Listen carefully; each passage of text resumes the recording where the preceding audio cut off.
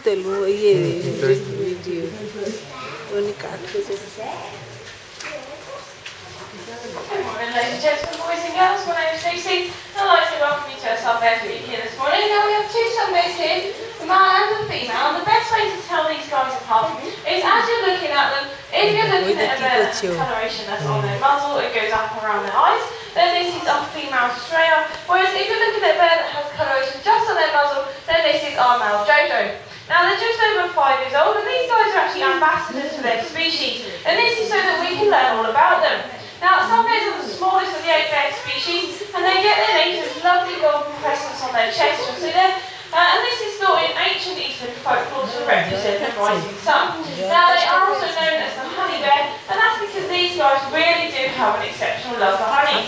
Now Honey, Jojo honey. and Soraya are bears because they're actually to by the jam factory down in Tiptree who provide them with all the honey that they can possibly eat. Now of course we don't give them all the honey that they can possibly eat because if you know your story of Winnie the Pooh, you know that they would end up with very round tummies. So we do limit this to just a couple of times a week as a nice tasty treat for them. In the wild they can be found in Southeast Asia in places such as Sumatra and Borneo and here they have an arboreal lifestyle. Now this means that they spend an awful lot of their time in the tall trees. So you will see that they are good climbers and to help with this they have pads that are smooth and hairs and they have those really long claws which help them hold on. Now they are also more of a nocturnal bear, so this means that they will sleep during the day. Now what they'll do in the wild is they'll be in the tall trees, they'll bend some branches down to form a nest so they can then have a sleep or a sunbathe. As you look into their enclosure you'll see that they do have lots of high beams and platforms and is to help stimulate that natural behaviour. This is actually a temporary enclosure for them. We are currently building a purpose-built sunbear enclosure. Now as you go around the museum, I'm sure you'll spot the build site next to Give Services. And this is the area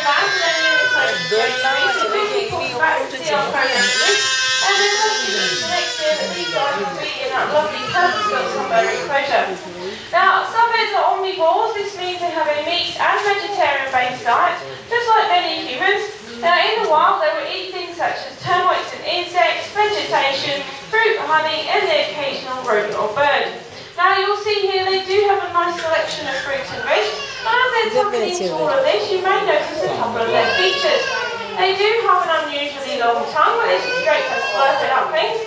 And those claws are they, you'll see here they're great for manipulating things.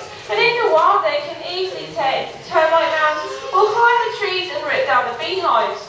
Sadly, Jojo and Soraya didn't have the best starts to life. They were actually confiscated by government anti-poaching patrols out in Cambodia. Now, Jojo was found when he was six months old, and he's actually being kept as a pet. He's being used in a karaoke bar to entertain the visitors. So he was confiscated and taken to free the bears.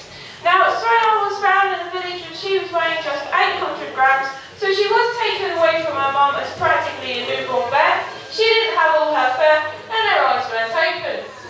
Now, she was really poorly, so she was rescued and given 24-hour care. Now, once she was back to full health, she was placed in with Jojo, and this is so that she could learn how to interact with her own species rather than her human carers.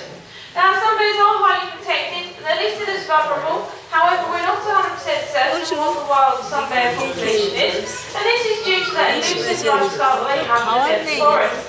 However, we do know that numbers are decreasing, and this is due to things such as logging, habitat destruction, and of course poaching.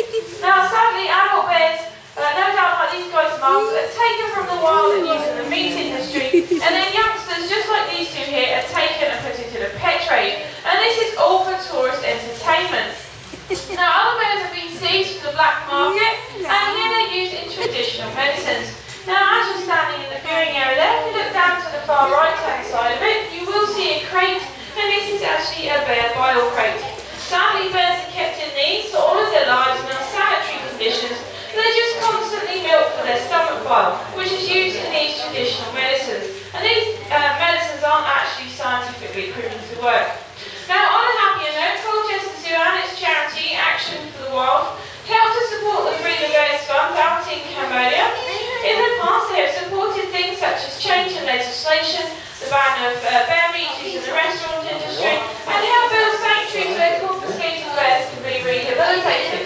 Back in 97, the Bear set up the Cambodian Bear Sanctuary, and this is actually now the world's largest sanctuary for sun bears. They've had hundreds of thousands of Cambodians pass through their doors, They to educate them on the threats that face their wild bear population. Now it is actually this uh, sanctuary that Jojo and Soraya came from. Now Action for the Wild will continue to support the Free the Bears Fund and all the work that they do in the wild, so if you have any pennies this morning that you'd like to donate, I have a collection pot with me here for Soraya you can have. And just by looking at these guys here, you'll see that your money really does make a difference. Now I'd like to thank you for listening. I do hope you've enjoyed learning a little bit more about this amazing species. Again, my name's Lucy. Please do come and ask me any questions. Other than that, please do enjoy the rest of your day with us at Colchester Zoo. you Becky?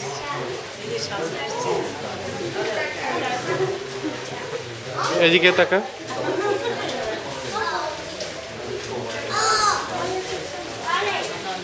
আমি স্টিলে তুলছি, তুমি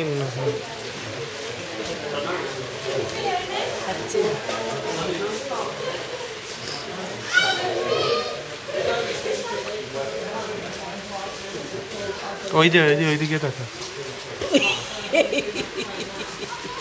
ওইদিকে গিয়ে তো ওর ওর পড়ে আছি।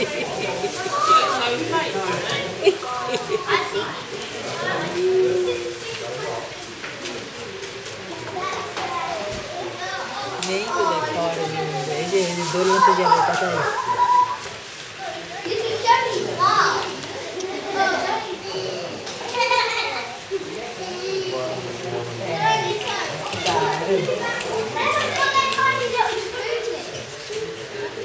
পিছনের কাঁচের রিফ্লেকশনগুলো আসছে। হ্যাঁ, হ্যাঁ, একদম লাগিয়ে দিই।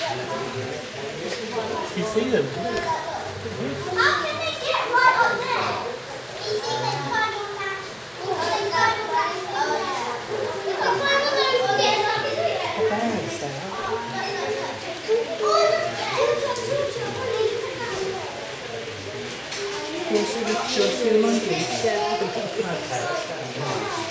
Siapa tu lah kursi di kursi mandi.